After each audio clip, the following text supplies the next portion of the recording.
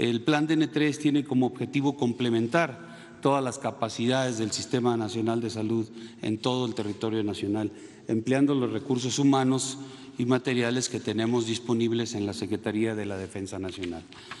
Eh, este concepto operativo del plan, que también, como ya lo citó el almirante Ojeda, eh, eh, ya, estamos en, ese, en el plan, en su primera fase, como ustedes pueden ver, la que sigue, por favor.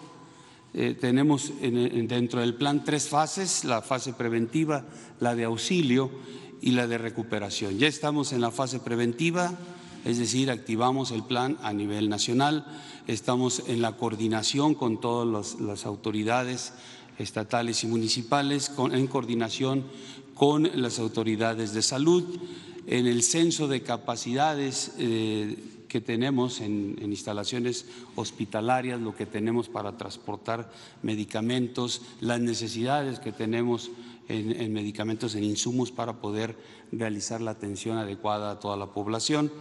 Eh, el personal, eh, el censo del personal médico y de enfermería y de todo el recurso humano del, del, ámbito de la salud que este, eh, tenemos disponible.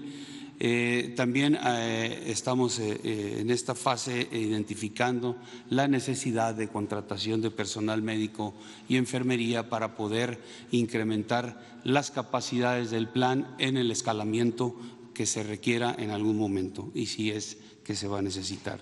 La distribución de equipo y medicamento especializado la implementación de un sistema logístico para la distribución y concentración de, de insumos de todo tipo en el área médica o en el área también de alimentación.